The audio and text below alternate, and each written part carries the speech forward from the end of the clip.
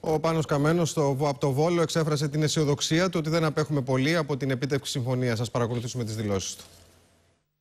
Ακούστε κάτι.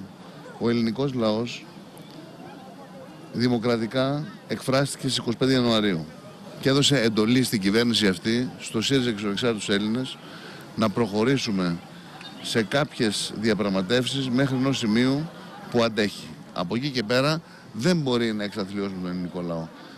Εάν θέλουν να το κάνουν κούκι, θα το κάνουν εκείνοι οι οποίοι δεν θα δεχτούν μία πρόταση η οποία φτάνει στο όριο της λαϊκής συντολής. Θα το κάνουν οι ίδιοι δηλαδή οι δανειστές.